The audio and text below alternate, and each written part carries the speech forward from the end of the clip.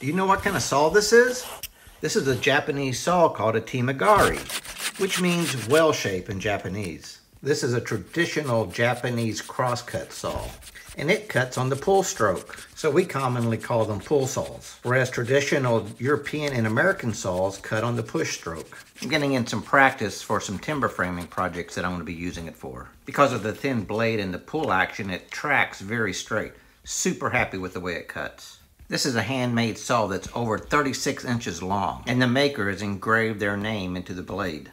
The handle's a natural piece of wood that's been cut to accept the saw and then wrapped with wire to hold it secure. And the maker made a wooden scabbard for storing the saw to protect it.